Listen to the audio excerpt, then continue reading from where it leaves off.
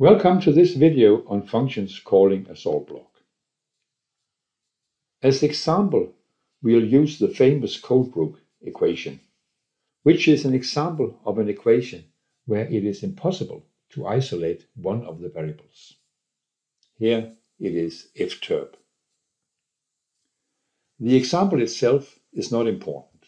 We are only using it to demonstrate the method. To solve the equation, given the relative roughness and the Reynolds number, we will use a solve block, which I already have prepared. Here we have provided a guess value for f turb. This value is not important as there is always only one solution to the equation. The values for E and RE are the actual values. The solve block will find the value of f turb to satisfy the Colebrook equation. And let's see what it is.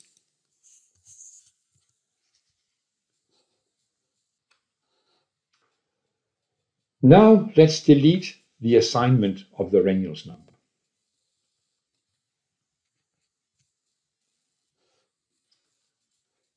Then of course it doesn't work any longer. The trick is to add a parameter to f and make a function out of it. So add re as a parameter. Now let's get outside the solve block and let's compute f where we pass the value 10 to the power of 4 to the solve block. And we have exactly the same result as before. We can use this function to compute f turb for any Reynolds number, given the fixed value of the relative roughness we have here. So let's try f of 10 to the power of 5 We can even draw a graph of f. First, we will define a range of Reynolds numbers.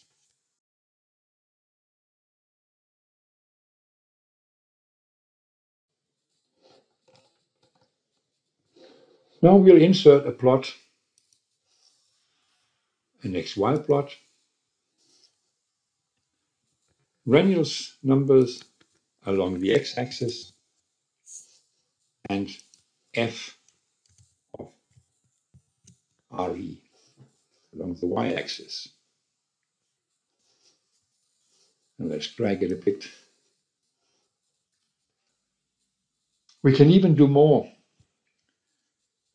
We can also delete the assignment of E. Let me take a copy of it first. And then delete it. And add e here. So we have a function of two variables.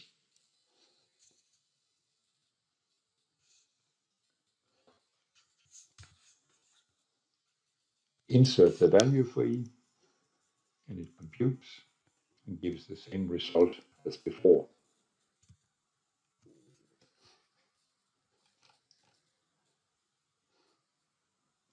And here we have to add the value of E.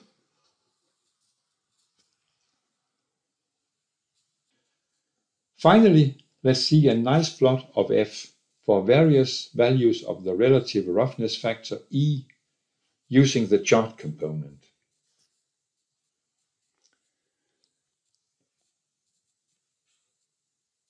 This completes the video on functions calling a solve block. Thanks for watching.